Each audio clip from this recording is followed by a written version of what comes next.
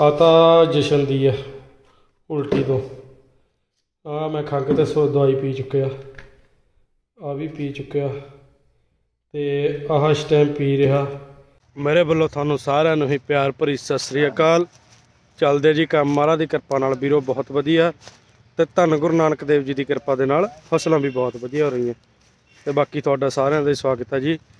ਮੇਰਾ YouTube channel Sarabjit ਮਹਲ blogs ਤੇ। ਬਾਬਾ ਸੁੱਖ ਰੱਖੇ, ਤੁਹਾਨੂੰ ਸਾਰਿਆਂ ਨੂੰ ਹੀ ਦੁੱਧ, ਧੀ, ਪੁੱਤ, ਖੁਸ਼ੀਆਂ ਖੇੜੇ। ਤੁਹਾਡੇ ਸਾਰਿਆਂ ਦੀ ਕਮਾਈਆਂ ਜੋ ਹੋਵੇ ਜੀ, ਬਰਕਤਾਂ। ਤੇ ਨਾਲ ਦੀ ਨਾਲ ਇੱਕ ਹੋਰ ਰਿਕੁਐਸਟ ਹੈ ਜੀ, ਜਿਨੇ ਵੀ ਮੇਰਾ ਚੈਨਲ ਹਾਲ ਤੱਕ ਸਬਸਕ੍ਰਾਈਬ ਨਹੀਂ ਕਰਿਆ, ਉਹ ਵੀ ਚੈਨਲ ਨੂੰ ਸਬਸਕ੍ਰਾਈਬ ਕਰਨ ਦੀ ਕਿਰਪਾਲਤਾ ਕਰਿਓ ਜੀ। ਤੇ ਲੋ ਜੀ, ਚੱਲ ਰਿਹਾ ਖੇਤੀਬਾੜੀ ਦੇ ਕੰਮ। ਸਵੇਰ ਦਾ ਟਾਈਮ ਹੈ, ਮੌਸਮ ਚ ਹੋਗੀ ਤਬਦੀਲੀ ਬਹੁਤ ਵੀਰੋ। ਤੇ ਬਦਲ ਚੁੱਕਿਆ, ਠੰਡ ਸਵੇਰ ਸਵੇਰ ਦੀ ਹੋ ਰਹੇਗੀ। 10 ਵਜੇ ਤੋਂ ਬਾਅਦ ਆ ਜਿਹੜੀ ਹੁਣ ਗਰਮੀਆਂ ਕੱਪੜੇ ਲੱਗੀ ਖਿਲਾਉਣ, ਕੋਟੀ, ਲੋਈ ਉਤਾਰ ਕੇ ਰੱਖਣੀ ਪੈਂਦੀ ਹੈ। ਤੇ ਚਲੋ ਜੀ, ਲੱਗੇ ਹੋਏ ਆ ਕੰਮ। ਜਿਹੜੇ ਖੇਤਾਂ 'ਚ ਆਪਾਂ ਨੇ ਮੁਰਗੀਆਂ ਦਾ ਰੇਹ ਪਾਇਆ ਤਾਂ, ਉੱਥੇ ਲਾਉਣੇ ਜੀ ਆਪਾਂ ਨੇ ਪਿਆਜ਼। ਉਹ ਤਿਆਰੀ ਚੱਲ ਰਹੀ ਹੈ ਬੱਟਾਂ ਦੀ, ਬੰਦੇ ਵੀ ਬੈਠੇ ਆ। ਤੇ ਚਲੋ ਬਹੁਤਾ ਕੁਝ ਨਾ ਕਹਿੰਦਾ ਹੋਇਆ, ਤੁਹਾਨੂੰ ਮੈਂ ਬੰਦਿਆਂ ਨਾਲ ਮਿਲਾਉਂਦਾ। ਤੁਸੀਂ ਬਣੇ ਰਹੋ ਵੀਡੀਓ ਦੇ ਨਾਲ। ਲੋ ਜੀ, ਸਵੇਰ ਸਵੇਰ ਸਭ ਤੋਂ ਪਹਿਲਾਂ ਤਾਂ ਕੰਮ ਅੱਗ ਮੂਹਰੇ ਸੇਕ ਕੇ ਚੱਲਦਾ ਏ। ਇੱਕ ਨਾਲ ਨਹੀਂ ਕੰਮ ਚੱਲਦਾ ਹਨਾ। ਹੋਰ ਵੀ ਕੀ ਹਾਲ ਹੈ ਠੀਕ ਹੈ ਜੀ। ਹੋਰ ਸੁਰਿੰਦਰ ਕੀ ਹਾਲ ਹੈ? ਠੀਕ ਹੈ ਜੀ ਬਹੁਤ ਵਧੀਆ ਜੀ। ਆਏ ਹਾਏ। ਲੰਬੜਦਾਰ ਨਹੀਂ ਸਤਿ ਸ੍ਰੀ ਅਕਾਲ। ਸਤਿ ਸ੍ਰੀ ਅਕਾਲ ਜੀ। ਸਤਿ ਸ੍ਰੀ ਅਕਾਲ ਆਹ ਦੇਖ ਲੈ ਦੋਹੇ ਜਾਣੇ ਸਾਜਰੀ ਸਾਜਰੇ। ਅੱਗ ਕੋਲ ਬਹਿ ਗਏ। ਹੋਰ ਕੀ ਹਾਲ ਆ ਬਈ? ਠੀਕ ਹੈ ਜੀ ਠੀਕ ਹੈ ਜੀ। ਠੀਕ ਹੈ? ਅੱਜ ਦਾ ਪਰਨਾ ਨਹੀਂ ਬੰਨਿਆ ਹੈਗਾ ਸਿਰ ਪਰ। ਆ ਤਾਂ ਠੰਡ ਜ਼ਿਆਦਾ ਹੈ ਨਾ ਤਾਂ ਕਿਆ ਹੈਂ? ਅੱਜ ਕੰਮ ਜ਼ਿਆਦਾ ਜੇ ਕੰਮ ਜ਼ਿਆਦਾ ਹੁੰਦਾ ਫਿਰ ਨਹੀਂ ਬੰਦਾ ਇਹ ਹੈ? ਕਿਹਾ ਤੁਸੀਂ ਪਹੀ ਦੇ ਵਿੱਚ ਯਾਰ ਧੂਮ ਧਾਂ ਕਰਿਆ ਵਾ ਸਰਿੰਦਰ। ਹੈ। ਬਹੁਤ ਕੱਖ ਹੋ ਗਿਆ ਤਾਂ ਤਾਂ ਹੀ ਜਲਾਉਂਦਾ। ਨਹੀਂ ਜਲਾਉਂਦਾ ਤਾਂ ਹੈਗਾ ਏ। ਆਹ ਦੇ ਲਾ ਆ ਦੇਖ ਲੈ ਇਹ ਹਾਰਿਆ ਕੰਮ ਨਾ ਕਰੇਗਾ ਧੂਆਂ ਦੇਖ ਲੈ ਡਬਲ ਧੂਆਂ ਕਰਦੇ ਆ ਤੁਸੀਂ ਹਰਦੇ ਨਹੀਂ ਹੈਗੇ। ਹੈ। ਸਰਿੰਦਰ?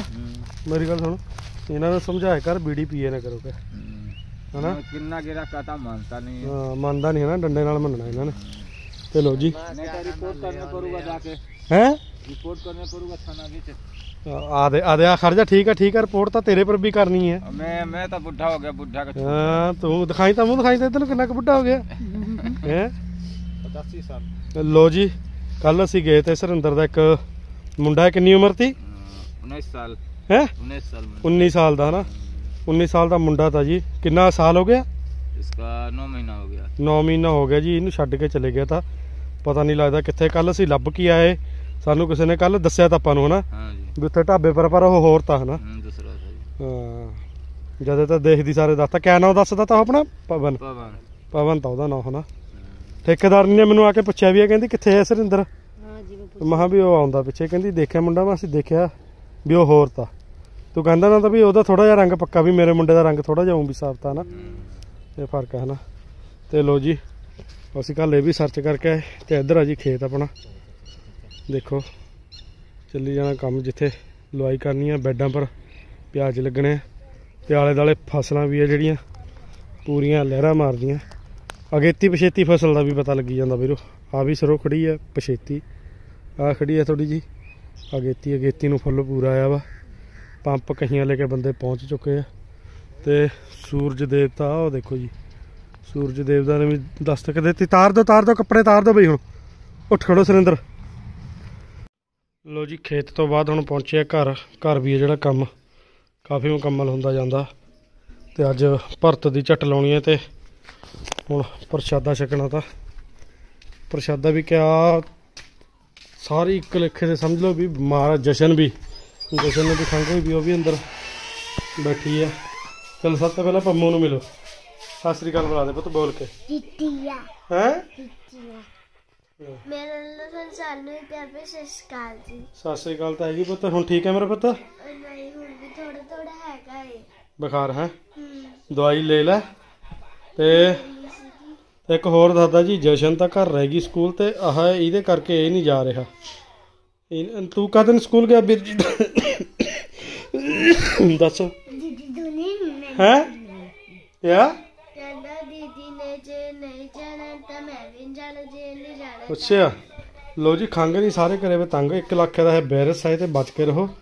ਹਾਂ ਬੰਮੂ ਬਸ ਜੀ ਇਹਨਾਂ ਦਾ ਤਾਂ ਦੇਖੋ।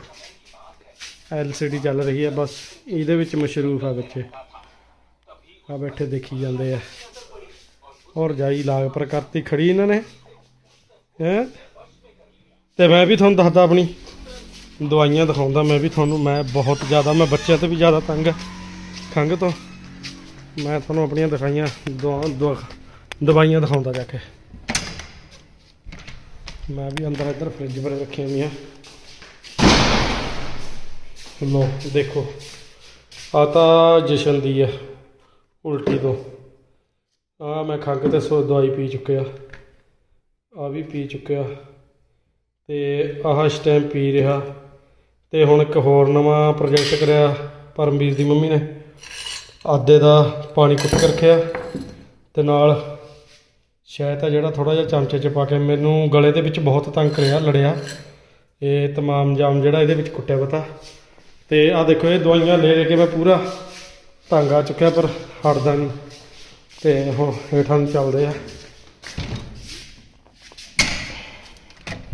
ਧੁੱਪਾ ਜਿਹੜਾ, ਸੂਰਜ ਵੀਰੋ ਪੂਰਾ ਨਿਕਲ ਚੁੱਕਿਆ।